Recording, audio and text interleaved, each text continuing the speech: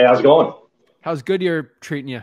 It's it's going good. Uh, we moved down here. We actually moved from Utah two years ago, right when COVID hit. Oh, so, wow. yeah. But hey, I appreciate everything you've been doing. I admire you, and uh, um, I have a couple questions on how to get set up. So, I do medical sales. I'm trying to get out of the rat race. My wife, um, we've gone through a lot this last year. So, today is eight months that my wife had a pulmonary embolism and almost oh, died. Wow. So, we've got four kids, 12 to five. My 12 year old was listening to me last night because I was going through some of your um, like how to set things up videos, and he's like, "Yeah, I've got to let me think how I can wholesale because I kind of he's got the entrepreneurial mindset and wants to call and do ask things." So um, the thing, like I pulled probates, we've gone and gotten a couple lists, and I've called on some, but I'm willing to.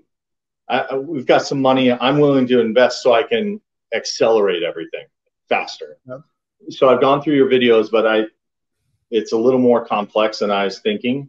I'm I'm trying to get my head around how to pull pull lists off of PropStream, have a VA, and I've had a few. Just a second, buddy. You're I've fine. had a few, a, a few that I've interviewed or looked at, but how to basically have them call and where it all goes, like on a spreadsheet, or how do you keep track of them?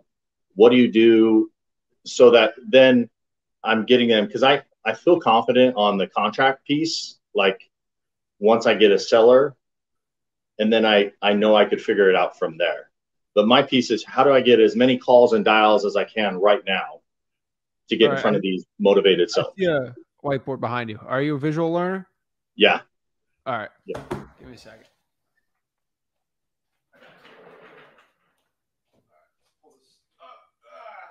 What the? Here.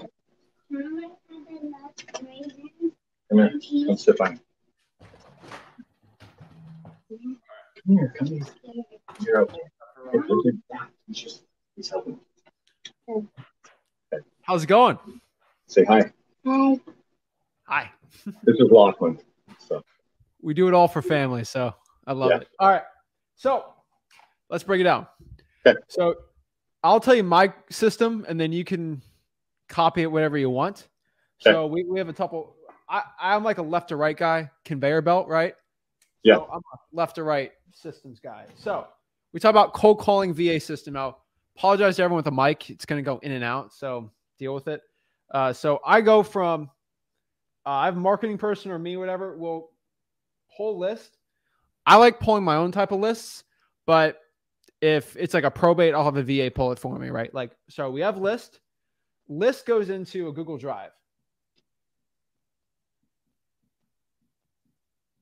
And then it's copied on like my computer or something. So we have, because I have to pay for this list, right? It's expensive. So I have it on Google Drive, right? That Google Drive is then going to be skip traced, right? Skipped, right? Use, you know, I use like a listrei.com or like a batch.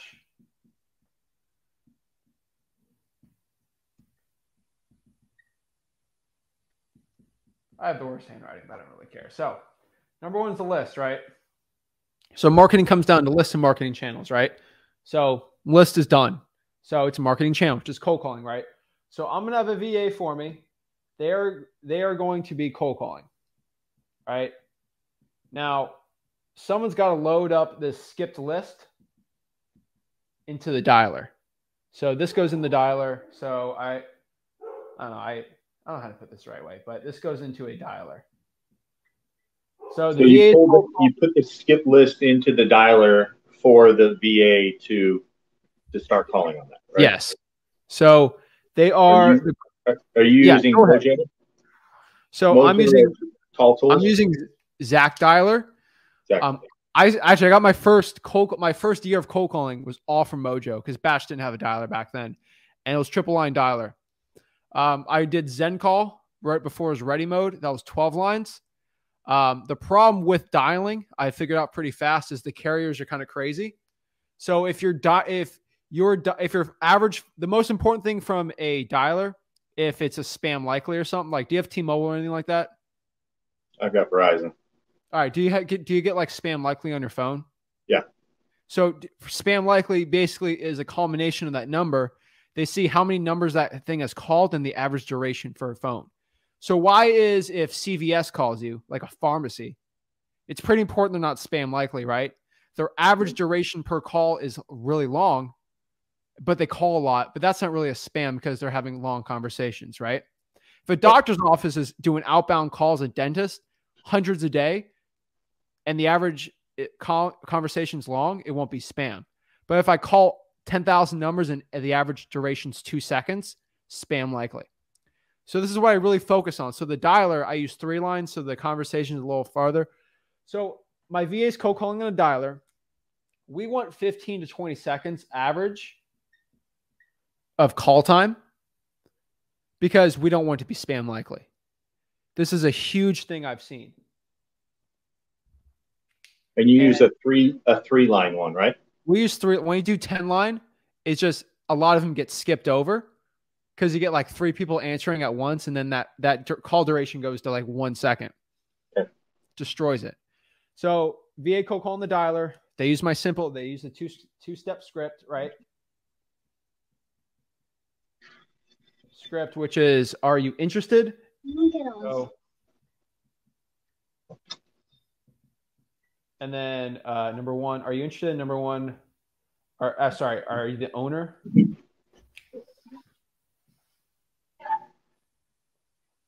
Are you the owner? Two, one, two, sell. Right? Are you on the property and do you want to sell it? Right?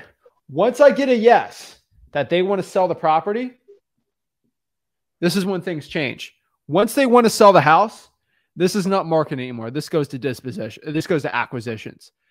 Acquisitions converts a yes to a contract. Marketing, all this, the only goal is to find a person that wants to sell the property. They say yes to selling their house. That's all my VAs focus on. That's all you want them to do. Those yeah. two questions. Ryan, who, as you doing medical sales, yep. who can close the deal better? That's Someone what I've. Philippines, right? Yeah, because and I've had a couple like ask, "Hey, do you want disposition? You want us to put it under contract?" I'm like, "No, I just want I just want to pay for you to go through leads to get me somebody to like talk to." Right.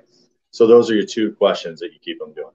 That's it. So the all this hoopla comes down to getting the yes, and the point is, hey, that's great.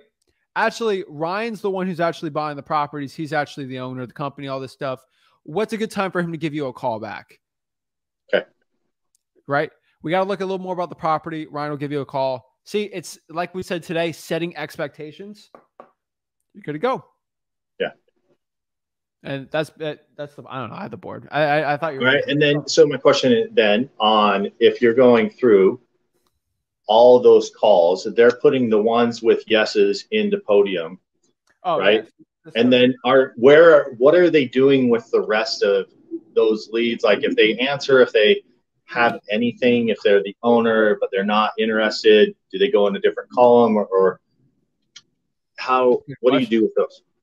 so i'm doing a lot of high equity just because my local market is like 200 like kind of smallish so if i have 50000 high equity leads right i have the whole system going so with my 50000 leads if i do it I, I have um,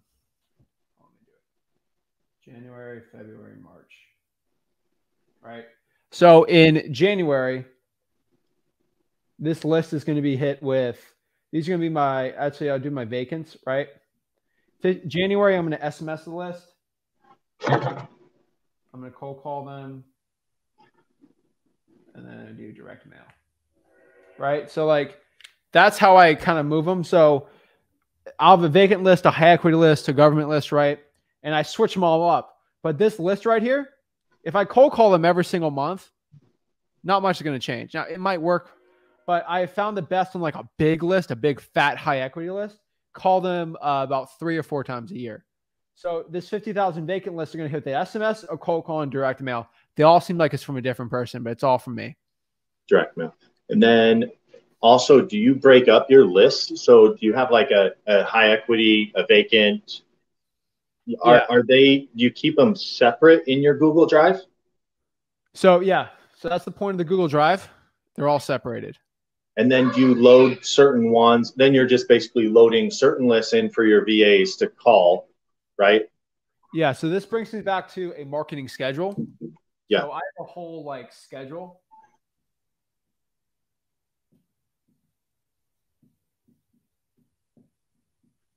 I have the whole marketing schedule set for like the month where mm-hmm. on, you know, this month we're going to cold call vacants. This we're going to do this, this, and this. Uh, then I got my like Tennessee. I'm doing this. Like it gets a little complicated, but I create an entire huge spreadsheet because I'm very visual like this, and I see what what everyone's going to do. There's no question about it. Like yeah. my VAs are going to be cold calling three hours a day from you know three to six this list and it's going to take them probably a week to get through this list and then they're going to do the next blah blah blah blah blah so on that question on the list though when you're going through the list and you're saying it takes a week to get through that list is when like you say you call them once a quarter so this month we're calling this list how does it classify them as hey you've called them is it when they answer or like does the dialer call them once and then says no yeah. answer and then it doesn't call them again, or how does that work? Yeah, you can change them up. The way that I like the dialer is it just goes to the entire list. If you don't answer it, then you're just going to get called back in a couple months or whatever because it might be a dead number. I still don't know if these are the owners because I'm skip tracing got three phone numbers that come out. Yeah. The point is the yeses come out. The you know never contact me. I'm going to sue you. They get out yeah. too. But honestly, like I don't take much out from this. Now, when I re-pull this list every year or every six months, some people aren't vacant anymore. They sold the property, someone died, blah blah blah. Um, we get a new one. Uh, but this kind of changes like maybe by five, six thousand every single time. But the point is, I just pull the yeses out. Podio acquisitions closes it. We keep the marketing going. The shocking thing I found with doing a list is I've marketed it three times. So I'll cold call a fifty thousand vacant list in January, um, April, uh, August, and maybe like December. And I will pull like three deals December, two deals August, one April, and like three January. And it's the same list. It's just the timing's different. And that's how you, that's all cold calling. It's all timing. Um, and that's like I've had deals where I've marketed that person three times a year for like two years, and I finally got the deal now and got all my postcards. It just it wasn't the right time. So that's why I don't like taking people off. Okay. And then your SMS texting, who do you use on what's your favorite one now? I use Batch just because they're pretty compliant. Full disclosure, I really love Mojo. I'm only using Batch because I like recording all of my VAs. I, it, once they know they're all recorded, it works really well for me. I also have uh, systems with them where I'll actually put my personal cell on this list and I'll put my middle name as like the first name. And I just want to practice and see when I get a phone call, what, what, what am I actually hearing? And they know I might be on the next line. So they're all 100% on every single time. Okay. If I get a cold call and I hear a rooster in the back or a baby crying, yeah. Ne- next VA. It's like I'm behind the shoulder, but I'm not. Okay. And so the dialer, you enter that in, put it in the dialer, and then you can get your VA up and going right away. Just getting yeah. I train the VA. Um, I actually kind of embarrassing. I'm, I'm getting more systems in there, but I have a lot of videos of me just in, in my dorm room of me just closing deals, cold calling, getting yeses, getting nos, making a little course on YouTube, like unlisted videos for my VAs. So I, I do some training, but not most of it because they go through the videos of me doing it.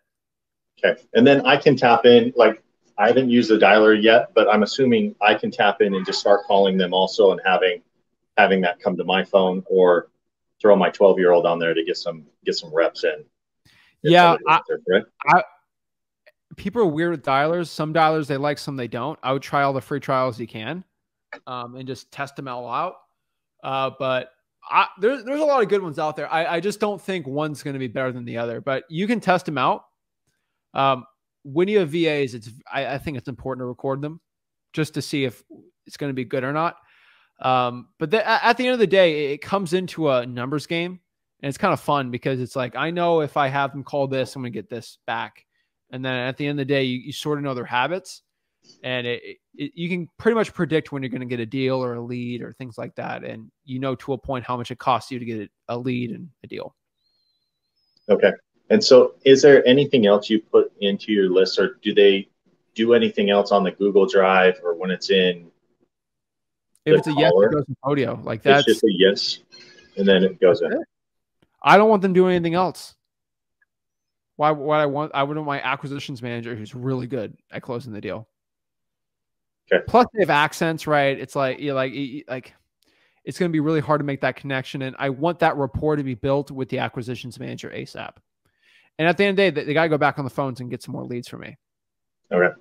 Um, and if I'm polling, like, for instance, here in Phoenix, I know that, like, I can, I just pulled a bunch of probates, but it makes it, they make it a little difficult. So that's fine.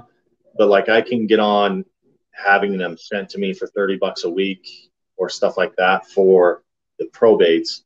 Do I just have them skip trace and then comb through the same? Is that what you're doing with them or? Yeah.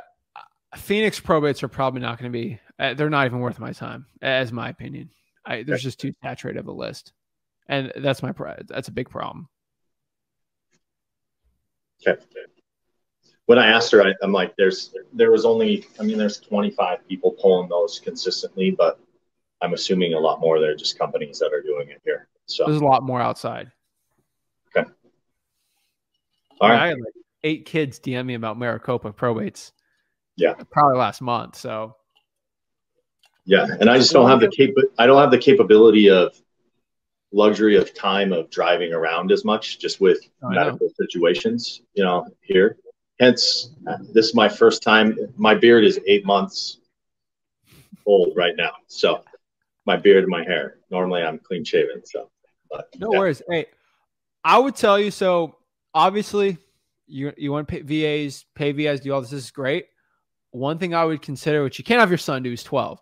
But if you can pay someone to drive for dollars for you, that might be a lot more efficient than doing this on a saturated list.